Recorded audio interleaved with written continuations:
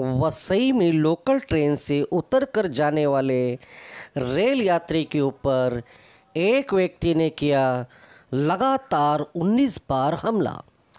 Vasai railway station पर मची सनसनी।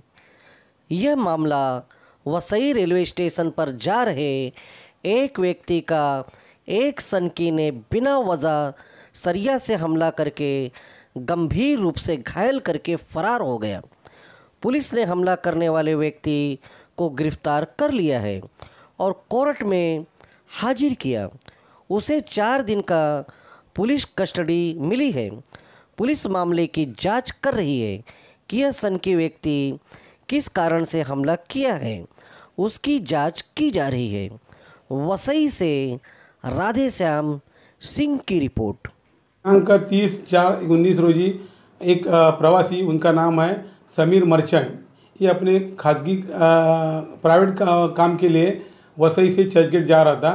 तभी वो वसई के ब्रिज के ऊपर से जाते समय एक माथेपुर ईसम आके उनके ऊपर हमला कर दिया और हमले में वो गंभीर रूप से जख्मी हो गया।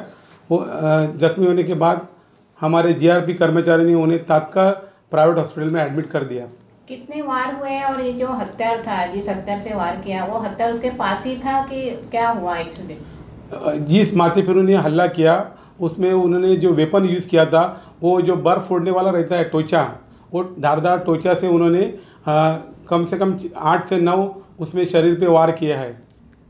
सर इसको कैसा पकड़ा गया? है ये हमारे इंफॉर्मेशन के तहत जो फुटेज हमें प्राप्त हुई है जो रेलवे सीसीटीवी कैमरे से फुटेज प्राप्त हुई है वो प्राप्त वो फुटेज हमने खंगालना शुरू किया और वो हम फुटेज हमारे सब इन्फॉर्मेशन है हमारा पूरा स्टाफ है वो दिन रात मेहनत करके वो स्टाफ ने उसमें वर्कआउट किया और इन्फॉर्मेशन के थ्रू ही हमने उनको पकड़ा हुआ है। सर सीसीटीवी में दिख रहा है कि लो वो अकेला एक आदमी सब्सक्राइब कीजिए हमारे हिंदुस्तान की आवाज़ यूट्यूब चैनल को और इस बेल आइकन को ज़रूर दबाइए ताकि आपको हमारे वीडियो का लेटेस्ट अपडेट मिल सके जो कि बिल्कुल मुफ़्त है।